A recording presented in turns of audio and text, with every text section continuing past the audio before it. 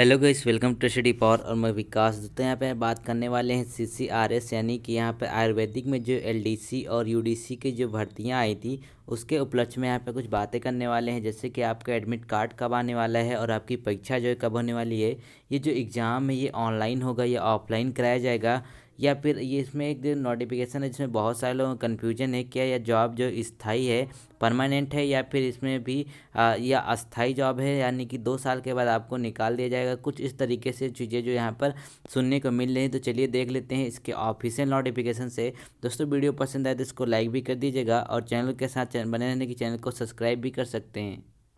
तो गईच ये है इसका ऑफिशियल नोटिफिकेशन जो निकाला गया था। तो इसमें मैंने आपको बता दिया था कि जो वैकेंसीज हैं आपकी अपर डिवीज़न की यानी यूडीसी की चौदह थी और एलडीसी की जो बावन वैकेंसी निकाली गई थी, जिनके लिए लगभग एक लाख नवासी हज़ार के आसपास फॉर्म पड़े हुए हैं। यानी कि लगभग दो लाख अगर कहें तो उसमें बुरा नहीं होगा। दो लाख जो है फॉर्म इसके लिए आवेदन किए गए हैं। तो गैस यहाँ पर चलिए हम बात कर लेते हैं कि आपकी जो परीक्षा है, ये ऑफलाइन होने वाली है या फिर ऑनलाइन होने वाली है। तो गैस देखिए, जो परीक्षा है, ये टोटली ऑफलाइन होगी, यानी कि ओ बेस्ड पे आपकी परीक्षा होने वाली है और इसमें आपको ऑनलाइन नहीं देना है। तो आप इसका सिलेबस वगैरह सब इसकी ऑफिशियल वेबसाइट से जाकर चेक कर सकते हैं और इसी में एक पॉइंट दिया हुआ है।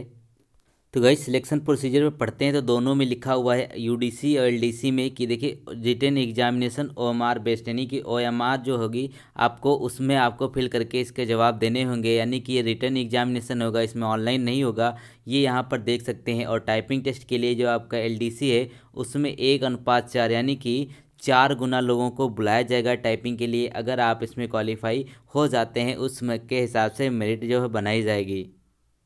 तो गाइज़ सबसे इंपॉर्टेंट चीज़ इसमें यह है पॉइंट नंबर छत्तीस, क्योंकि इसमें लिखा हुआ है the ports are temporary but likely to continue the candidate selected will be on probation for two years which may be extended at the description of the competent authority to maximum period of one year यानी कि इन्होंने बताया है कि देखिए, जो ये job है, ये अस्थाई है, ठीक है? ये स्थायी जॉब नहीं है, इस नॉट इस अपॉइंट के हिसाब से अगर बात करते हैं, यानी कि ये सिर्फ़ दो साल के लिए आपके प्रोवेशन पर ले रहे हैं ठीक है, ये एग्ज़ाम जो है वो दो साल के लिए द पोस्ट आर टेम्परेरी, यानी कि ये पोस्ट है, ये टेम्परेरी है अस्थाई है,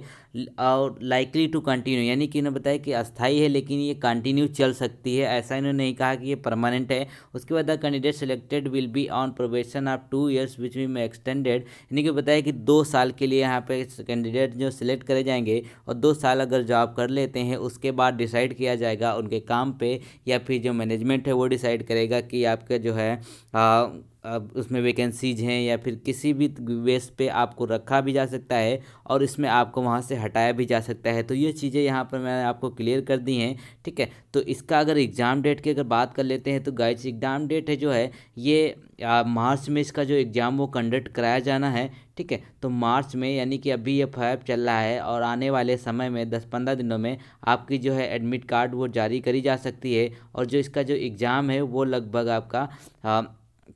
मार्च के शुरुआत में या फिर मार्च, पंद्रह मार्च के आसपास आपका जो एग्ज़ाम इसका हेल्ड कराया जा सकता है, ठीक है गैस तो यहाँ पर आपको अगर इसकी तैयारी करना चाहते हैं तो गैस मैं इसके लिए आपको लिए अभी मैं वीडियोस लेकर आऊँगा जिसमें आपका जनरल अवेलेंस मैथमेटिक्स, जितना भी कोर्स है आपका, उसकी तैयारी करवा दूँगा, ठीक है? तो गाइस जो भी आपके डाउट थे वो क्लियर हो गए होंगे आई होप तो अगर अभी तक आपको कोई भी डाउट है, कोई भी क्वेश्चन है तो आप उनको नीचे कमेंट कर सकते हैं। मिलते हैं नए वीडियो तब तक के लिए थैंक यू सो मच